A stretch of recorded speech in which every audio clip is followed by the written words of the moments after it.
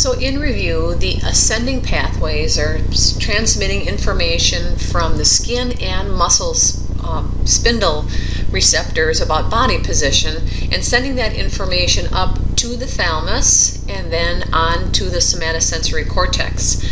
The spinocerebellar tracts don't go to the thalamus, they stop at the level of the cerebellum. So that's um, where we see the unconscious awareness of our body position is through that tract.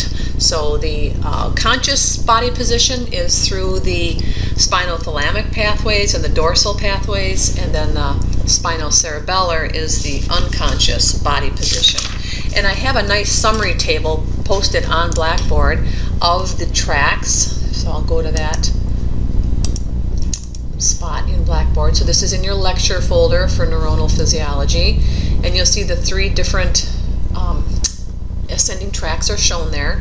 The information that's carried by each tract is listed, where the action potential or where that first order neuron is located. So these are all the ascending tracks. It's carrying sensory information from receptors out in some sensory receptor is out in some organ.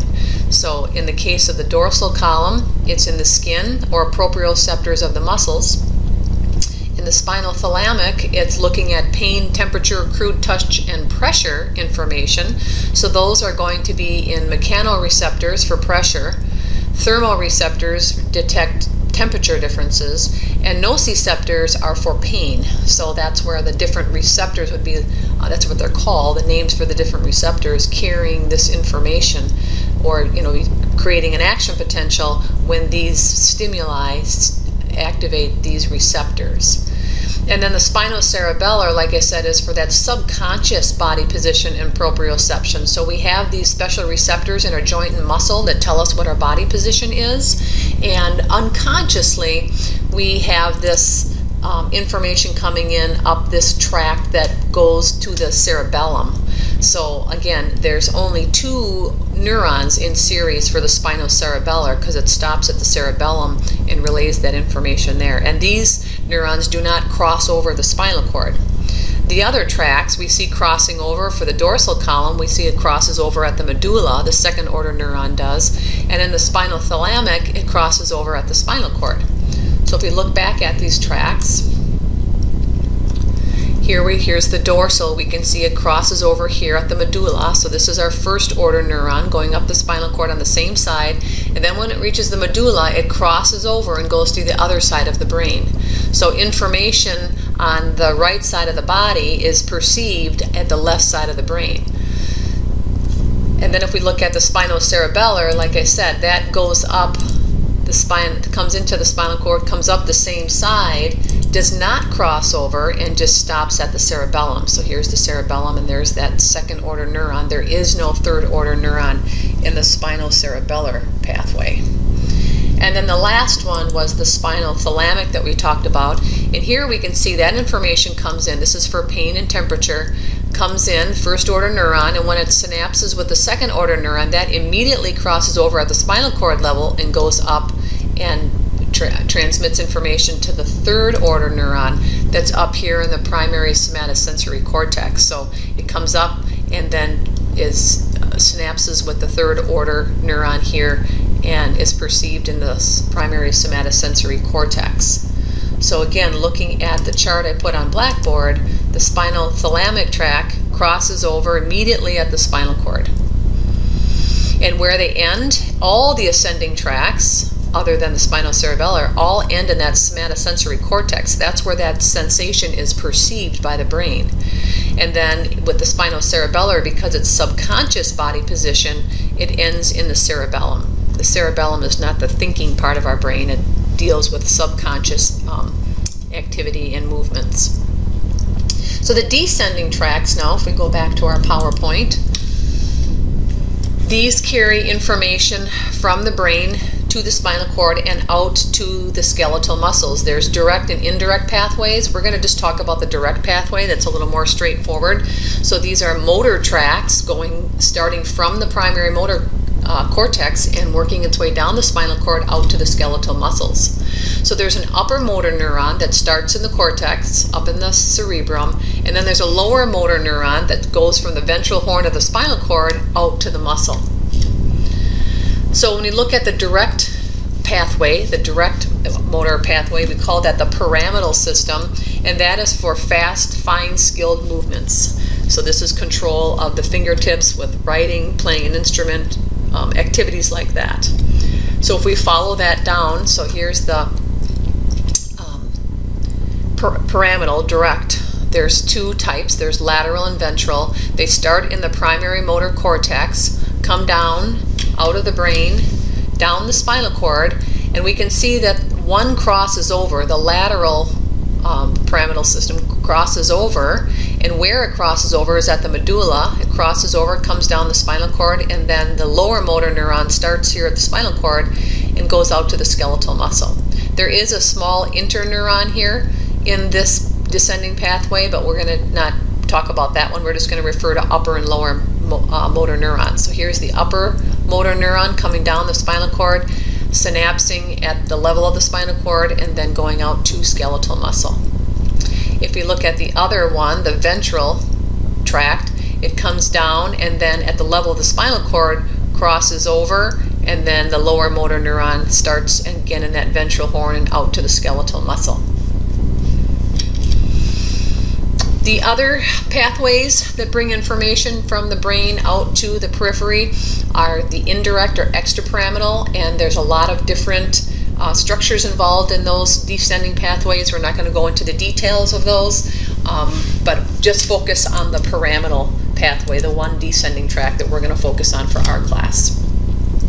But it's important that we have these other um, extrapyramidal descending tracks because balance, posture, coarse muscle movements, head, neck, and eye movements are all part of this extrapyramidal system. But again, I'm not going to go into the details. I'm not going to expect you to know the details of those pathways.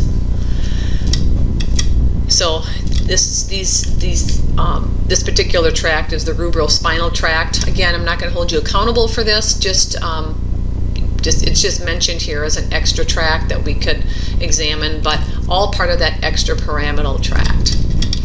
So why is this important? Why do we need to know about um, descending tracts?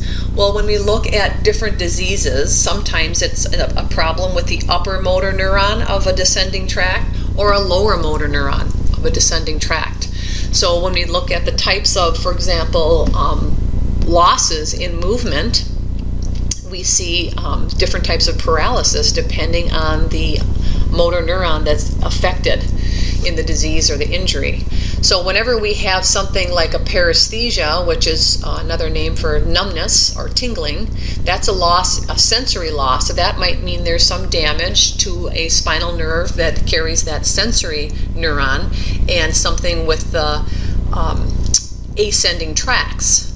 But paralysis is a loss of motor function, so that indicates something wrong with that motor neuron, uh, the ventral horn of the spinal cord, or something with a descending tract, or the primary motor cortex. So a lot of different possibilities can lead to either loss of sensation or loss of motor function. But it's important to distinguish between an ascending tract and a descending tract, or the ventral root or dorsal root because they carry opposite information. Remember the dorsal horn of the spinal cord and the dorsal root carry that sensory information and the ventral root and the ventral horn carry motor information. So it's important that we distinguish those two in terms of what type of losses we would see, whether it's paralysis or um, paresthesias or numbness tingling.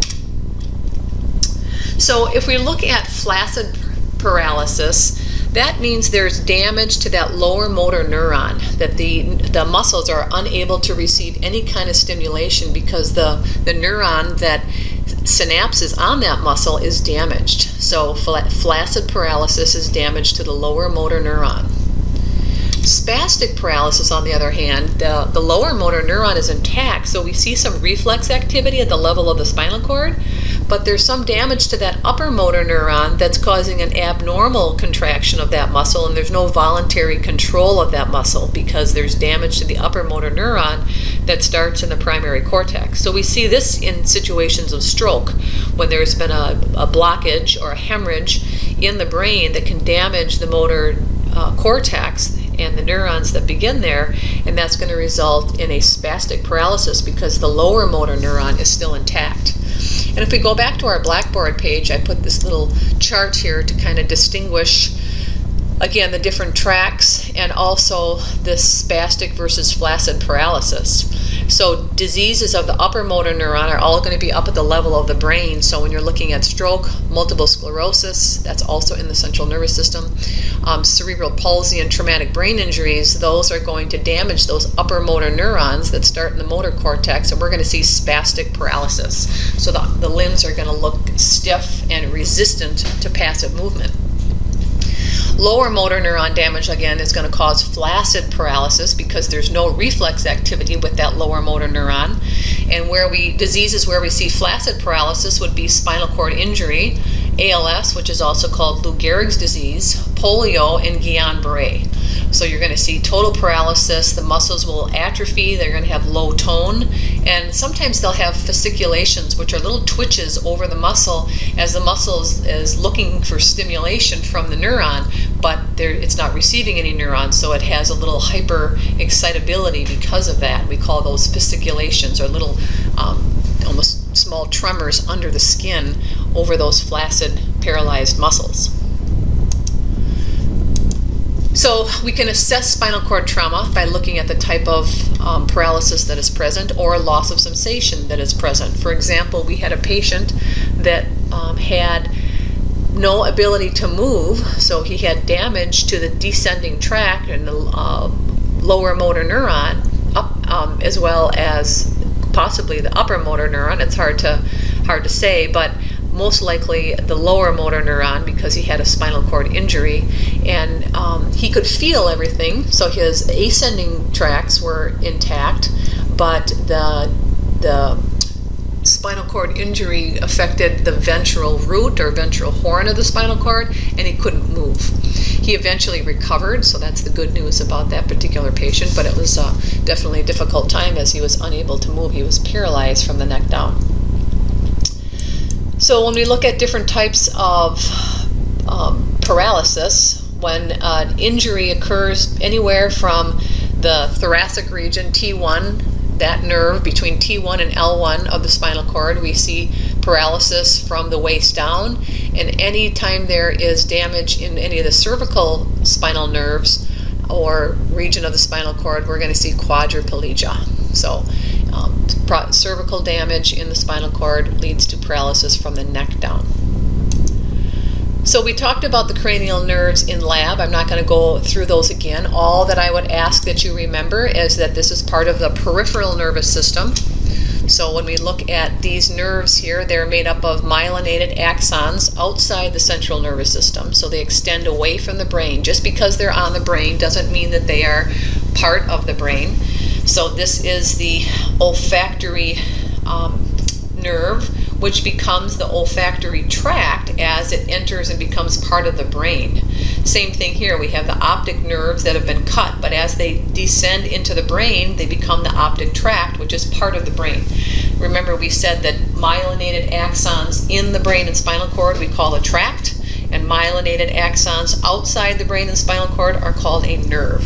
So all of these nerves we see extending away from the brain, those are part of the peripheral nervous system. So there's 12 pairs of cranial nerves and 31 pairs of spinal nerves that are all part of the peripheral nervous system. So they're carrying um, sensory and motor information. And some of the cranial nerves, if you remember from lab, some are purely sensory, some are purely motor, and some are a mixture.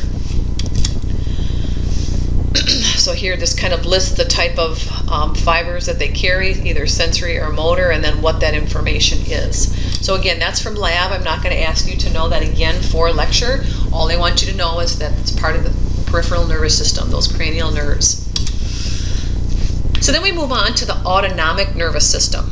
The autonomic nervous system is, remember, are those, is the nervous system that controls the um, smooth muscle, cardiac muscle, and glands. So it's that involuntary part of our body that keeps us operating on a minute to minute basis. It controls our blood pressure, it controls smooth muscle contraction in our digestive tract, in our urinary tract, and keeps maintains homeostasis along with the help of the endocrine system. So again, this is the subconscious system in the terms of we're not aware and we have no direct control over the activities of the autonomic nervous system. So this is part of the motor response from the body. So remember, if the motor response is activating a, a, voluntary skeletal muscle, we call that part of the somatic nervous system. But the autonomic nervous system controls cardiac muscle, smooth muscle, and glands. And it, the response to those organs can either be a fight or flight stress response on those organs, or it can be a rest and digest response. So the parasympathetic is uh, division of this response are those neurons that calm the body during restful situations. So when we're digesting well, breathing slowly, heart rate is slower, those are the parasympathetic neurons that are dominating during that time and sending their impulses and releasing their neurotransmitters to those organs to stimulate them. The sympathetic division would be activated and would override the parasympathetic during times of stress, during intense exercise, um, stressful situations, getting in an argument, chronic life stressors. That's when we see the sympathetic system dominating and those neurons releasing their neurotransmitters on their respective organs. So they all differ in how they, um, the effector cells that they act upon um, the pathways and the neurotransmitters they release, and how the target organs respond to those neurotransmitters. So again, looking at the effector cells of the somatic system, that's skeletal muscles, autonomic, it's cardiac smooth muscle, or glands. And if we look at the somatic nervous system in terms of the neurotransmitter released, all motor neurons release acetylcholine to those muscle cells to respond. And in the autonomic nervous system, some of them release ACH and others release norepinephrine. So we'll talk about that when we compare these um, in a little bit here. So if we compare the sympathetic and the parasympathetic divisions of the autonomic nervous system, we can see that where the neur neurons originate are different. So in the parasympathetic nervous system, we see that the neurons start in the brainstem and also in the sacral region of the spinal cord. We don't see any parasympathetic neurons originating here in the thoracic, cervical, or lumbar region. So we call the parasympathetic nervous system the cranial sacral division because the neurons originate in the brain, that's where the cranial part comes from, or the sacral region of the spinal cord. So we call it the cranial sacral division because that's where those neurons originate. The sympathetic nervous system, on the other hand, originates from the thoracic and lumbar regions. If we look at where these green neurons originate for the sympathetic nervous system, thoracic lumbar, so we call this the thoracolumbar division because that's where those neurons originate. And if we look at the parasympathetic and sympathetic chain in terms of how that impulse is conducted, we can see there's two neurons involved. So on the parasympathetic side, the blue or purplish neurons, there's two there, and then in the sympathetic, there's also two. So we call the first neuron, where the impulse begins, we call this the preganglionic neuron, and this is the postganglionic neuron. So we already talked about that in the first lecture, first part of our lecture. So preganglionic, postganglionic. So the ganglion is where we see cell bodies and dendrites outside the central nervous system. So there's the ganglia for each of these neurons where they meet. So in this chain, we can see there's the pre-ganglionic neuron here, and in light green, the post-ganglionic neuron, and here's the ganglia. And they form a chain nice and close to the spinal cord on the sympathetic nervous system. So this is a sympathetic chain ganglia. It just looks like a swelling right alongside the spinal cord where we find the cell bodies of that postganglionic neuron. So that's only in the sympathetic nervous system where we see this chain, this chain ganglia. In the parasympathetic nervous system, the ganglia are very close to the target organs. And notice the length of that postganglionic neuron, very short in the parasympathetic, but in the sympathetic, that postganglionic neuron is much longer. And the preganglionic neuron is much shorter, where in the parasympathetic, the preganglionic neuron is much longer. And if we look at this particular neuron here, notice all the branches that it has to the heart, the lungs, the stomach, pancreas, liver, gallbladder. There's a lot of innervation coming off of this one cranial nerve. And this is cranial nerve number 10, the vagus nerve. So the vagus nerve has branches out to all the organs which control the parasympathetic response to those organs. So again, this is the rest and digest division. So it's slowing the heart, slowing the breathing rate, promoting digestion, promoting, again, pancreatic release of enzymes, liver and gallbladder, all promoting digestion. So if we look at the um, parasympathetic nervous system, we can see the different organs that it that it um, terminates on. But again, if we look at the vagus nerve, the cranial nerve um, number 10, it in, innervates these heart, lungs, and most of our visceral organs. So a lot of parasympathetic outflow goes from that vagus nerve. And then we see some of the other cranial nerves here. Some go to the eye, others go to the glands in the mouth, nose, and um, the glossopharyngeal promotes salivation. And then in the sacral region, we see that it targets the, the intestines to promote bowel movements and smooth muscle secretion, the contraction of the bladder, the ureters, and reproductive organs. So when we think of the parasympathetic nervous system being the rest and digest, its influence on all of these organs is to secrete or promote their watery secretion. So the parasympathetic nervous response, when it's dominating on these organs, is promoting tearing, salivation, secretion of digestive juices, and urination. So that's the parasympathetic response. It's a wet response. So think of wet. Some people say SLUD, S L U D D, which is salivation, lacrimation, which is tearing, urination, defecation, and digestion. That's the parasympathetic response when these neurons are activating and releasing their neurotransmitters on these organs. The sympathetic nervous system, again, is in the the thoracic and lumbar regions of the spinal cord, and they pass through that chain of ganglia here right alongside the spinal cord and then out to the different organs. So, again, these are spinal nerves then. Now, we saw that the parasympathetic nervous system involved some of the cranial nerves. Here, we see the cranial nerves are controlling some of those structures, but in the um, sympathetic nervous system, these are all spinal nerves carrying that information out to those organs. And again, this is the fight or flight stress response. So it's going to speed up the heart rate, increase breathing, dilate the airways, slow digestion. So it's going to inhibit digestion in the stomach. It's going to inhibit mass movements in the large intestine, and it's going to inhibit contraction of the bladder. So again, we have the different spinal nerves that are that meet um, in the ganglia outside the spinal cord, and there's what that chain looks like along the spinal cord.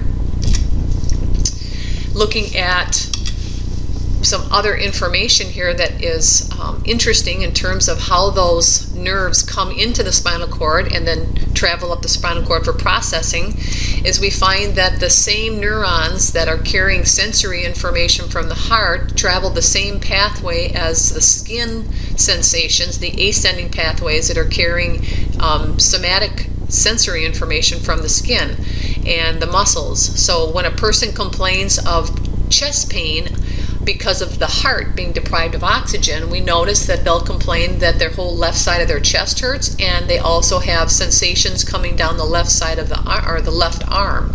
They might feel numbness and tingling because the pathways of the neurons from the heart are traveling in the same pathway, the same ascending pathway as those um, receptors in the skin and muscle. So we feel they feel numbness and tingling. And if we look elsewhere here, we can see the same pathways are shared over the skin of the jaw and the neck, and even up to the lower ear. We've had patients complain that their their teeth hurt when actually it's a heart attack. Another example we can see here too is when someone is having gallbladder pain.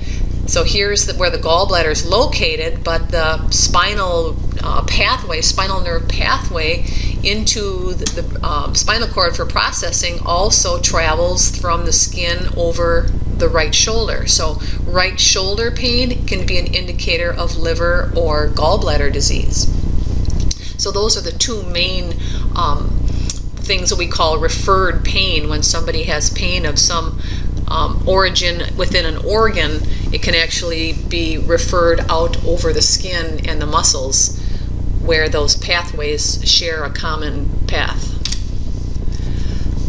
So neurotransmitters, again, um, different fibers release um, within the parasympathetic and sympathetic nervous system release different neurotransmitters. So parasympathetic neurons release acetylcholine and sympathetic neurons release norepinephrine.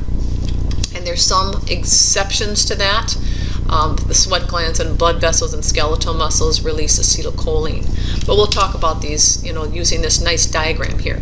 So if we look at the parasympathetic and sympathetic neurons kind of side by side, here we see this is um, in the central nervous system. What's shaded in beige here is the central nervous system.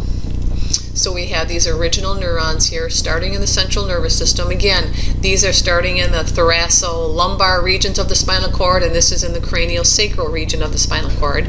But as that impulse is generated, it goes out and meets up with the second neuron, the postganglionic neuron, and here's the ganglia, what's shown in yellow here, that's the ganglia where the two neurons meet. So this is a cell body outside the central nervous system here. That's what makes it a ganglia. We'll see a little swelling there. And so this first neuron secretes acetylcholine.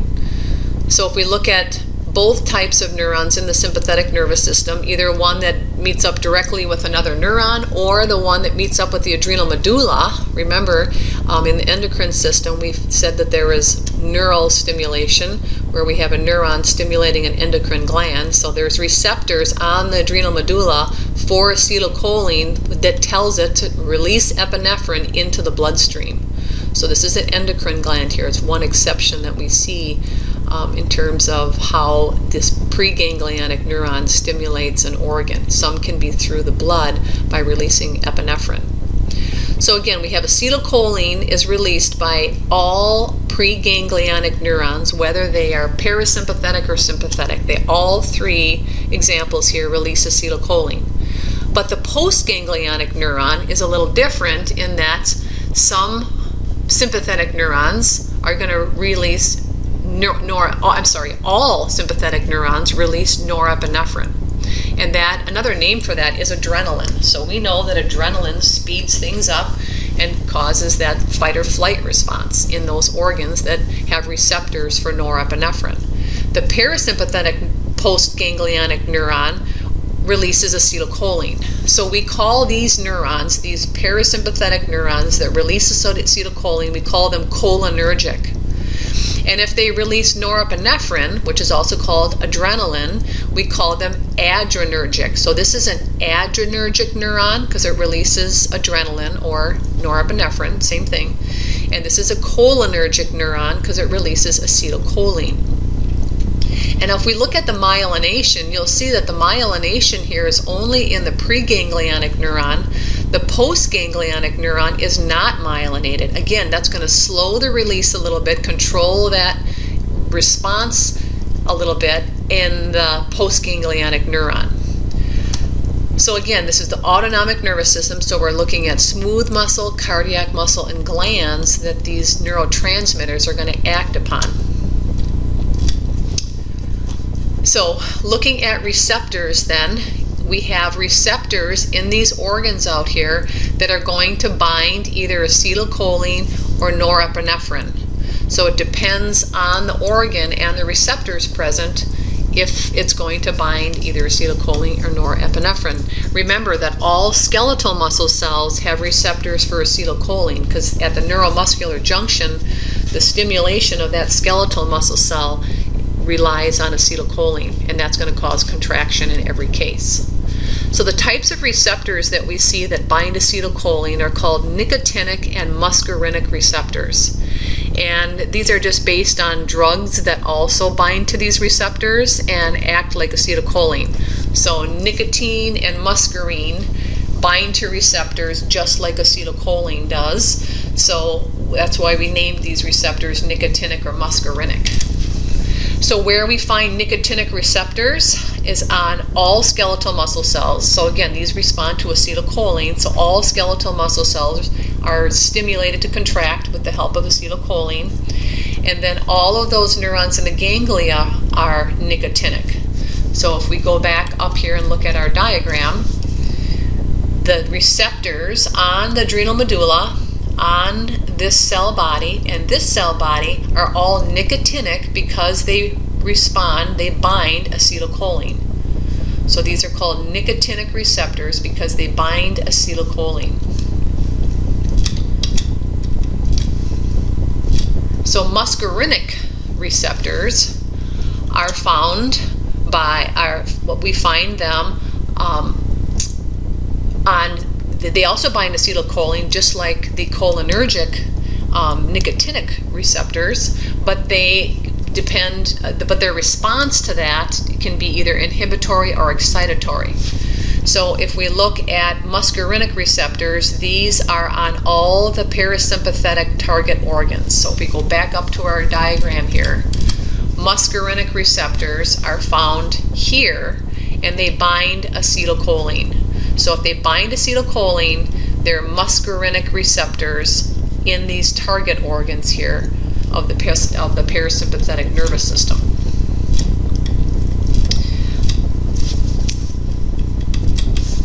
So adrenergic receptors are those that bind norepinephrine or adrenaline. So these are found on the sympathetic um, organs or organs uh, that respond to the sympathetic stimulation. So if we go back to our diagram here, so if we're looking to speed up the heart rate, then norepinephrine is going to be released from the postganglionic neuron and that's going to bind to the adrenergic receptors on the heart muscle cells. And there's different types of adrenergic receptors. So we look at adrenergic receptors, we have alpha receptors and beta receptors. And some organs have more of one type than the other. So if we look at our chart here, we can see that the heart has mostly beta 1 receptors and the lungs have mostly beta 2 receptors. And then we also find beta 2 receptors on the blood vessels serving the heart, liver, and skeletal muscle. And we also find beta 3 receptors on adipose tissue.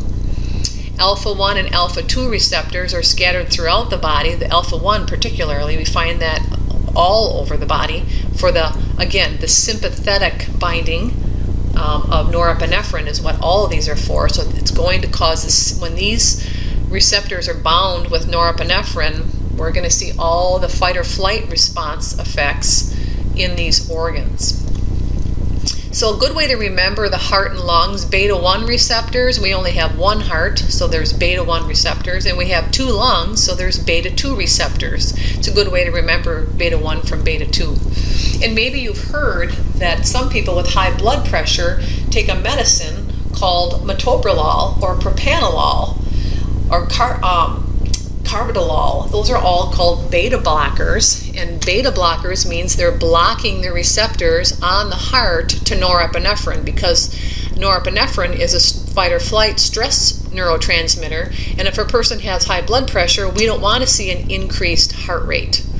We don't want to see in, um, constricted blood vessels in the in the heart. So as a result of that, we want to block that beta response. So some of our drugs that we use um, act like these um, neurotransmitters that bind to these specific receptors, or they block a receptor to prevent the body's natural neurotransmitters from binding. So atropine is an anticholinergic, so that means it's going to bind to muscarinic receptors on the salivary glands. And as a result of that, people will be given atropine to dry up the mouth during surgery so they're not drooling or they're not having saliva drip down the back of their throat causing an aspiration pneumonia. Um, in the eye drops that you might get at the um, ophthalmologist is that helps to dilate the eyes and allow them to examine the retina more clearly so they can look through those large pupils to look at the retina. So that's one effect of atropine.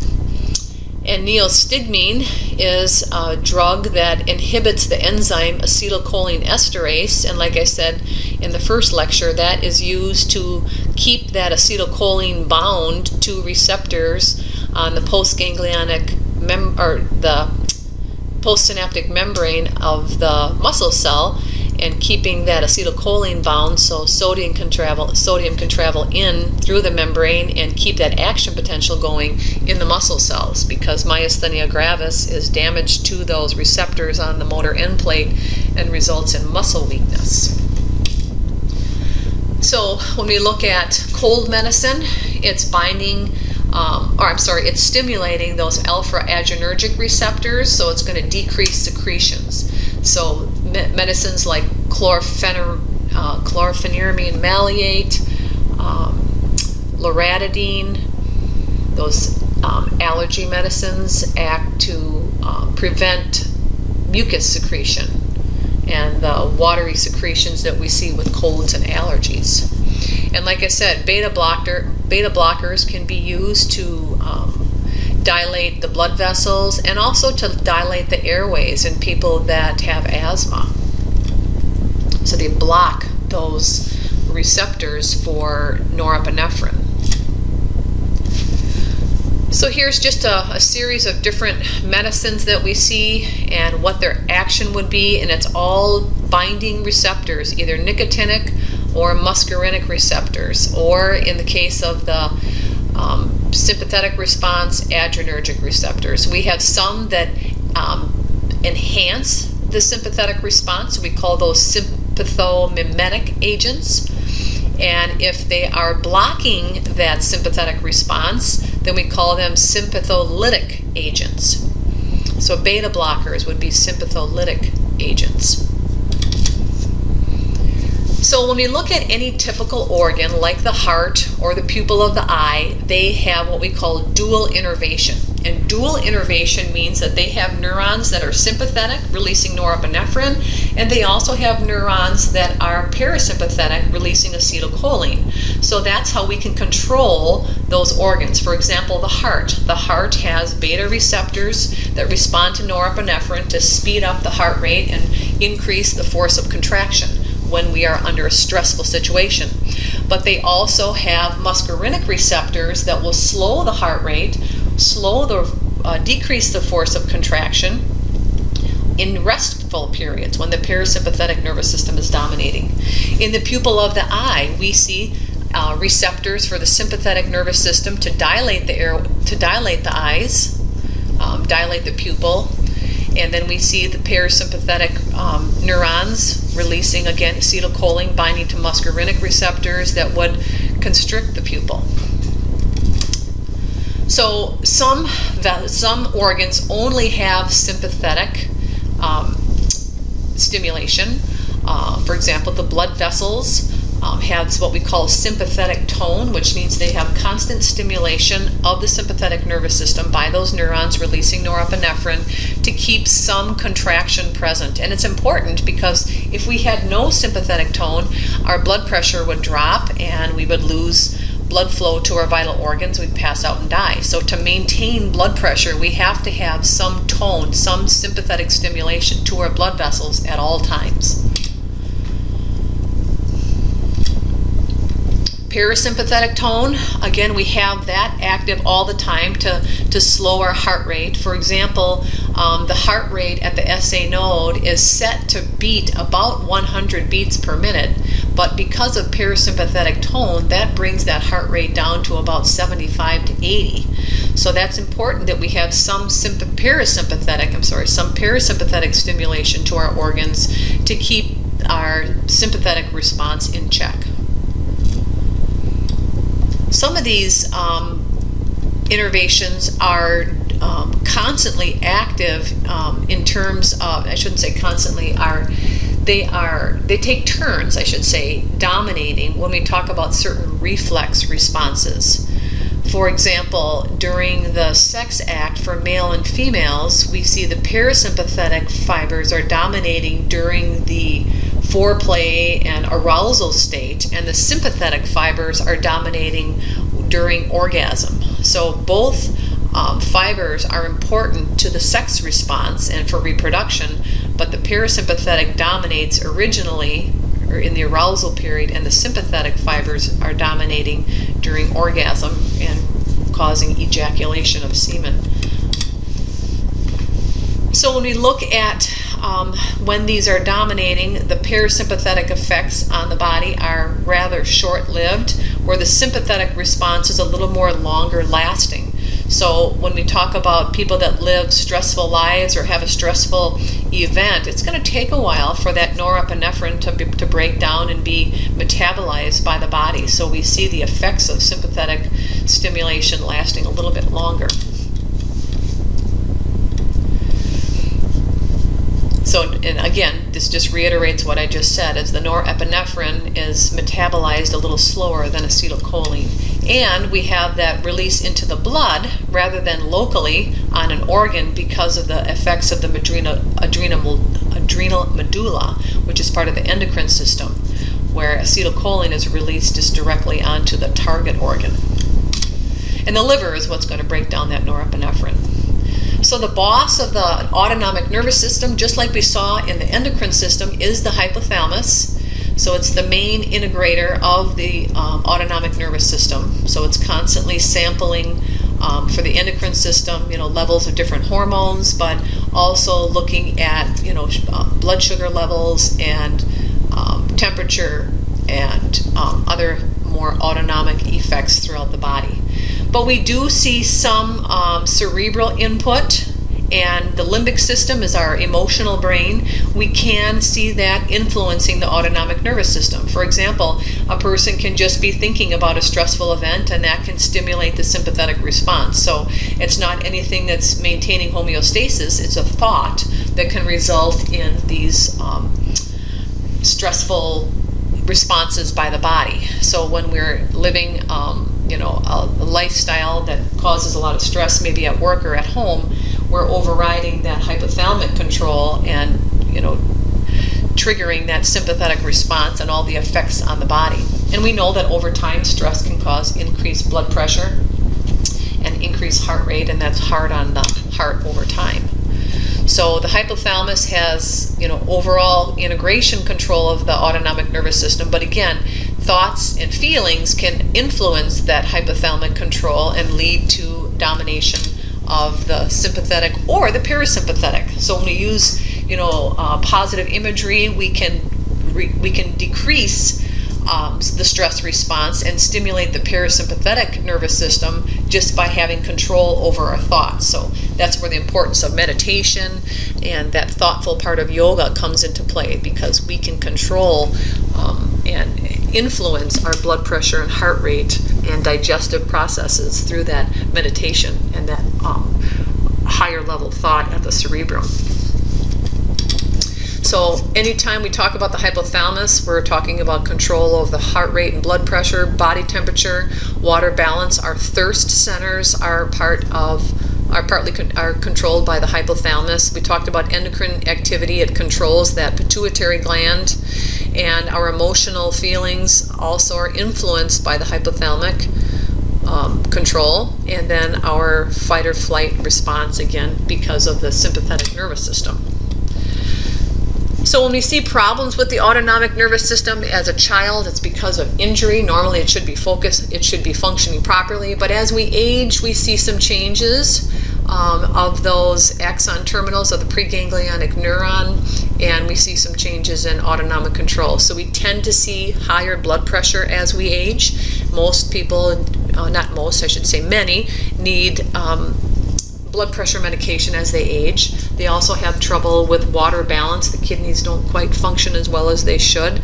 So we see some um, decline in the functioning of the autonomic nervous system. Um, other examples, constipation as we age, smooth muscle contraction is not quite as efficient, so we really have to watch what um, we eat as we age, making sure we're getting enough water and enough fiber and enough activity to keep the bowels moving. We see drier eyes, more frequent eye infections because of the drier eyes, and less ability to correct our blood pressure when we go from a, uh, a laying down or seated position to standing. So this is, in, I've seen this happen in church when we stand up. I'll notice this, you know, I've seen, I've, I've come to the aid of elderly people that have fallen over when they st stood up because they, their body was less able to adjust the diameter of their blood vessels as they stood from a sitting to standing and they had too low of a blood pressure to perfuse blood into their brain and they lost consciousness for a short period of time.